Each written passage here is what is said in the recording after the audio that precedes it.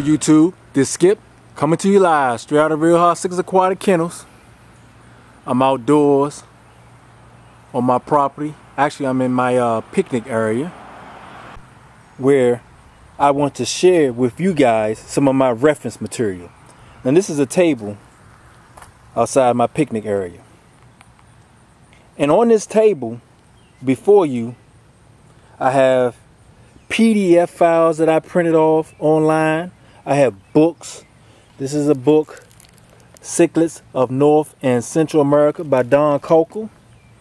One of my reference guide. I have another PDF printed off uh, book. I have some photos, some old photos of my uh, Midas cichlids. That's one locking up with my uh, one of my pyros back in 97. Here's an old Polaroid picture of my Midas and my Managuense locking up. Here's a drawing that I printed offline and it illustrates a great illustration and picture and drawing of a Midas. I like this particular drawing because this particular drawing is going to be one of the centerpiece as far as this part two discussion of the Midas cichlid evolutionary history. So part two of this series, we're going to focus on the breed standard. But before I start with that, I would like to thank all you guys who went out and purchased either through me or through Amazon my book titled Skip's Guide to Keeping Real Hard Cichlids. I want to thank you guys. I want to show my appreciation because without you guys, this wouldn't have been possible. You guys have motivated me as well as my mentors. And Don Conkel was one of them. And my book is right next to his. It looks small in comparison. but you guys were the motivation that I needed to follow through and finish up having my book published in copyright. And I want to thank you guys. I also want to thank you guys because all proceeds, every dime, every penny, every sale of this book goes towards maintaining my aquarium building and my fish and the hobby that I love. So enough of that. Let's get into the topic at hand. Here we have, like I said, a few books, some PDF files that I printed off online. Uh, I also printed some documents from the University of Michigan discussing Lake Apoyo, Nicaragua, and the diversity within the Midas cichlid complex. Like I said, people, the Midas cichlid complex is one of the most diverse cichlids on the planet. It's definitely the most diverse cichlid in Central America. And one of the places that that holds true to more than any other place in Central America is this. I hope you guys can see I'm focusing in on it. Place right here where this arrow is pointing, Lake Apoyo. Now, the reason why I say that is because Lake Apoyo, I think I mentioned in the first video in part one, is the largest crater lake amongst four, 13 other crater lakes. Lake Apoyo is 23,000 years old. Here's a before picture of Lake Apoyo when it was first developing, and here's now. Now, when we talk about Lake Apoyo, we probably have to go into a little bit of the history and development of that particular crater lake as well. So I want you guys to understand. Lake Apoyo was formed when the tectonic plates under Central America collapsed against one another and created a volcano which shoots up magma that dries out that cools off when it hits the surface. And over time, approximately 23,000 years, it became like a cesspool for bacteria, small organisms, fungi, and things of that nature. And in doing so, we have what you see right here before you. So you have to understand a little bit about the history of the environment that some of these subspecies of Midas evolved in. Look at this illustration of this Midas. Beautiful. Now, some of you guys may recall or may not recall a while back and even recently in the um, part one of this video series I always mention that all these different Midas species are just that Midas. They all came from Midas. They all derived from Midas. If there was no Midas in Central America or on the planet, period, these other species of Midas or subspecies would not exist. Period. They came from Midas, and you can't be more than what you came from. You can adapt through adaptation, you can mutate, you can evolve. But when you go back to that family tree, that lineage, it's going to revert back to this fish, this fish, this illustration of a Midas, that one, my old Midas, here with my Trimax, it goes back to the Midas. All roads go back to the Midas. Like I said to you guys, there's nothing new in this hobby but the history you do not know. Now, before I discuss further the breed standards, I want to clear some things. Like I stated in part one and in a video I made some time ago that was titled, I believe, uh, Can you tell the difference between old school Jeff Rapps Trimax and the new school Pyro Trimax? And in that video I made a I made a comment. And I stated that Hogaboomers and Armadillos and all those different subspecies were Midas. They were nothing more but just Midas. And when I made that comment, some people took it among themselves to tag that video and attach it to Monster Fish Keeper. And of course, the naysayers and the haters went to town on it. They thought it was quite hilarious and funny that I made that statement. They said that that's making that statement, I lost credibility in the cichlid world because it wasn't true. Now, let's fast forward to 2014. Here, I have some literature that I printed offline, and I also have it in some of these books as well. And one of the things that is mentioned in this literature, let's let's see if I can focus in on it. Let's see if we can read this. Lake Apoyo is a popul is populated by several endemic fish species. These fish species have all derived from the Midas cichlid, Amphilophus citrinellum. Hmm. Are you guys understanding what this means?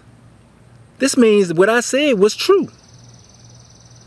But you know, I know it's still part of some lady say, oh, Skip, you just making this stuff or this, this stuff you print on. You can go up and look all this, you can research all this information I'm telling you guys right now. Documentation beats conversation all day long. But here's the problem we have in this hobby. Sometimes you have people that are privy or privileged to information that other people aren't. And so the people who aren't aren't uh, exposed to that type of information always doubt and always be naysayers. You ever notice how when you present some information that maybe someone else doesn't know, the first thing they say is, I never heard of it before, I never seen it before, uh, such and such never seen it or heard of it before, so therefore it must not exist. You ever notice that? Like I said, people, ignorance is not an excuse for debate. Those people are almost always are the naysayers that you hear from or comment on your videos because they don't do their research. They don't do their due diligence. I know, and some of you guys know, that just like these cichlids have evolved, technology and information gathering and research has evolved as well over the years. Our ability to gather accurate, factual data has increased throughout the years. That's a part of our evolutionary process. As people who like to learn, who like to do research. So with that said, let's take a look at this this this picture right here. This drawing. This is a drawing of a Midas. I know I mentioned to you guys on many different occasions that one way of knowing that you have a Midas and not a Might Devil or a Labiatus Red Devil is this region, the lips. Now that's not the only way to tell, but that's one of the best way, or that's the starting point right here.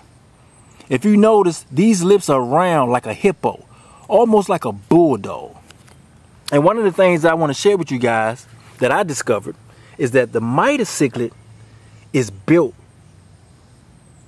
for power and impact, meaning that they're natural glass bangers. They're built for it. Their cheese have their their their uh, lips have an extra cushion and gen and genetic spring in between the jaw area and the extension. Their heads and their skulls are extra thick. Actually, the Midas cichlid, out of all the cichlids, have the thickest. There's a mosquito. Skull region. And I'm gonna prove that to you guys. I'm gonna show you. Matter of fact, let me see if I have that illustration.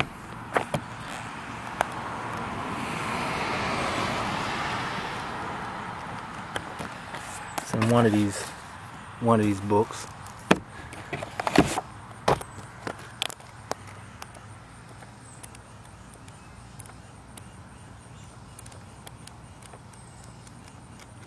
But we'll get to it. Let me see. Okay, here we go right here. This is a drawing. This is an illustration of a Midas upper jaw area, lower jaw area, the uh, the teeth, the eyes, the jawline. Look at all that muscle. Check it out, people. This is the inside. That's what I say. You can't just look at the surface when you're trying to identify a certain species of Midas. The, the Midas is so diverse and so complex that you have to do a little bit more than just look at the surface of the fish and the coloration and, and patterns. You have to look at, you have to look beneath the surface and check it out beneath the surface. This is why I say the Midas cichlid is built for glass banging unlike other cichlids. I, I have Trimix cichlids that like to hit the glass a lot too, and, and they knock themselves out. But my Midas cichlids has never been knocked out. They never knocked themselves out, and they hit the glass just as hard, if not harder than my Trimix and my Dovais, because they're built for impact. Check it out. Look at the illustration. Solid, muscular fish. That's one of the of the breed standards. Like I said, people, I'm going to show you guys the fish facts throughout this video series. I'm going to show you guys the fish facts. Now, when we talk about Labianums, on the other hand, Labianums red devils, Amphilophus, Labiatus, they have evolved to where they have an adaptation because they like they like to eat crustaceans and snails and have to get in between rocks and crevices. They like cave dwellers and ambush predators. In the shallow waters around caves and driftwood and things of that nature. And they like to grab snails and stuff. So they develop lips just like a nutcracker. If you look at these lips on this Amphilophus Lady Adams, and you grab a pair of nutcrackers out of your house, out the drawer in your kitchen, and put it next to these lips, it'll be perfectly aligned with a Lady Adams lips. Because that's what they do, they crack shells. And this is type of breed standards we're going to discuss in this video series. But I first wanted to show you guys some of my reference material so you can have an idea where I'm getting a lot of this information from and how this information that I have been collecting throughout the years have evolved from the from the first day I started up until now. So when we talk about breed standards, people, what we learn? We learn that we just can't look at the surface. We got to look beneath the surface. We also have to learn what exactly is the biological definition of a species and in what order and class do we go by when we're talking about a species? What comes before species? Everything. Species is the last thing on a genetic order list. When you talk about biological classifications, species is the last one. And moving in reverse, the species is the Midas cichlid or Citronella mitis. Citronella and mitis, like I said, is one and the same. The genus, the genus is Amphilophus. People, Amphilophus is the genus. It's the catch-all to all the species that's cousins or very similar to the Midas, Like Festes, the Lady Adams. Euthymus, Trimex. All those species are cousins to this genus, the Amphilophus. The family, on the other hand, is cichlids. Cichlids is the family, people. That's the classification for this particular fish. Cichlids. So now that we have that understanding, we can move on with the breed standards and classifications. And we'll pick up on that in part two. I mean, part three of this series.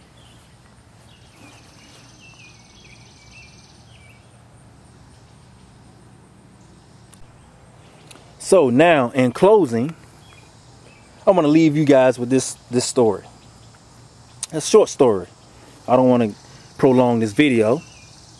But a long time ago, back in the late 80s, early 90s, I, I guess between 87 and 94 is when I discovered that we had in the world dovies with deep bodies and knuckle humps as big as Midas. And when I went out into the, the cichlid community to share this bit of information, man, I was laughed at. I mean, people was just, people was just having a ball with that information. Now, some of these guys are guys that you all know today and you all order from. Guys that you respect in this hobby. I'm not going to mention any names because that's not how I do business. That's not how I am. I'm in this hobby to lift people up and inspire people, not to tear people down. So I don't do the name thing. But I do want to share this story with you guys because it's relevant to what we're discussing. So I went into the community and was telling these guys about what I heard from a, a particular guy who's been in a hobby way longer than I have and have been collecting fish long before even these guys were. He was one of the first people to start collecting fish in North America out of Florida. And he was telling me how when he went down to Central America, they were pulling dovies out the water with deep bodies and big humps, humps, knuckle humps as large as Midas if not larger. And so I shared this with the guys in the community and they laughed at me. They talked about me. They ridiculed me. They said, that's impossible. Now back then, the Dovies wasn't classified in the Parachromis family. But we're going to say Parachromis family just for namesake because I don't want to confuse anyone. So they were telling me that the Parachromis family, did not have the genetic composition to develop knuckle humps. So basically what they were saying was the, the Dovi didn't have the genetic coding to develop knuckle humps in deep bodies. Because they were so used to the collectors and the fish stores bringing in, and the wholesalers bringing in Dovis with a sleek body, built more like Chaos was, without any humps or deep bodies. Uh, they weren't collecting those big body Dovis that we see today. But now if you fast forward to 2014 and you watch the videos, there, there are videos that's downloaded on YouTube and streamed throughout the internet showing you dove eyes with deep bodies and knuckle humps. I even have a video that I posted some a couple of years ago, a year ago, when I was at the National Zoo showing you a display of dove eyes with knuckle humps and deep bodies. Juan just posted a video on YouTube when he visited a local pet store here, Greenbelt Aquarium, where the owner, Richard, ordered and had delivered to his shop dove eyes, with knuckle humps and deep bodies. So what does that tell you, people? That tell you this. Ignorance is not an excuse for debate. And I've always said that. You're always going to have naysayers who come out here and just because they never seen one before and their buddies never seen one before or who whoever such and such never seen one before, it pretty much does not exist in their eyes. And that's just not true. You know how when you have a, you, you guys ever notice when you're confronted with someone, a hater, and you make a video or you on Facebook and they always seem to have this one excuse. They always seem to say this every single time when you present something that they don't know anything about. They always say, I never heard of it before. Such and such never heard of it before, so therefore it doesn't exist. But they never ever seem to bring forth documentation to prove their point. That's just their point. That's the only point they can make. Whereas when I present information to you guys, I'm always sharing with you guys documentation right before you. Beats conversation all day long.